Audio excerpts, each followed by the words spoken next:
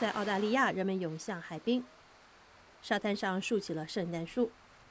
然而，在遭到台风肆虐的菲律宾独鲁万市，却是另一番景象：妇女在收集饮水，儿童在垃圾中寻找着可使用的东西。尽管如此，苏武士的声音教堂还是回响着欢快的歌声。我们可能失去了家园，失去了屋顶，但没有失去希望。在印度南方的克拉拉邦，几种文化共同欢庆圣诞节。一些华人进行传统的舞狮表演。在巴基斯坦的卡拉奇，商店里响着铃声，而武装警卫在教堂外高度警戒。在阿富汗首都喀布尔，警察在圣诞节这一天大批出动。一枚路边炸弹袭击了三名警察，而美国大使馆也遭到袭击。个小时之前，美国部队举行了一场圣诞弥撒。伯利恒旭日东升，回荡的钟声欢迎前来参加清晨弥撒的敬拜者。一些巴勒斯坦人从加沙赶来，去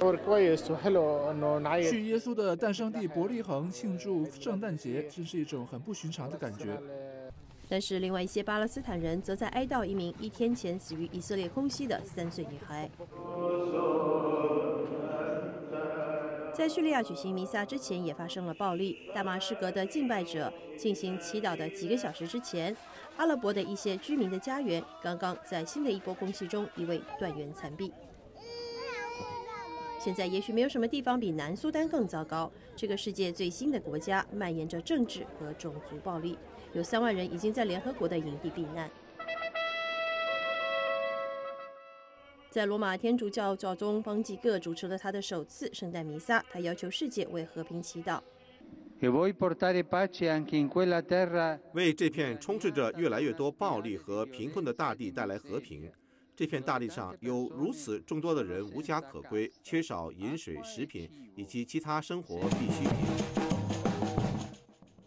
美国之音卫视新闻报道。